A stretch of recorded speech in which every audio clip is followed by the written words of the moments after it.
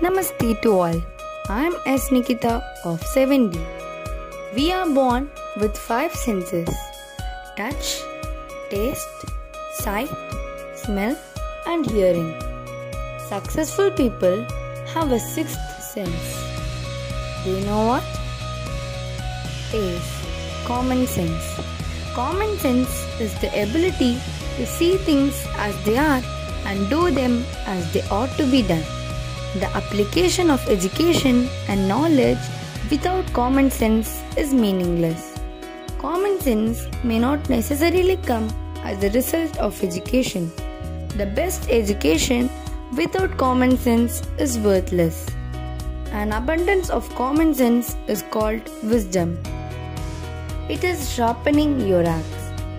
Mohan, a woodcutter, worked for a company for five years but never got a raise. The company hired Ram and within two years he got a raise.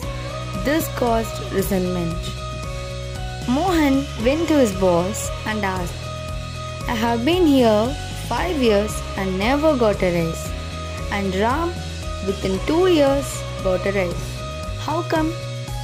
The boss said, We are a result oriented company and would be happy to give you a raise if your output went up. Mohan went back, started hitting harder and putting in more time, but he still wasn't able to cut more trees. Mohan thought to himself, Let me go find out from Ram how his output went up. Maybe he knows something more than I do. Upon asking, Ram answered, After cutting every tree, I take a break for two minutes and sharpen my axe. When was the last time you sharpened your axe? Mohan said, Oh ho, five years ago. When was the last time you all sharpened your axe? Past glory and education don't count for much.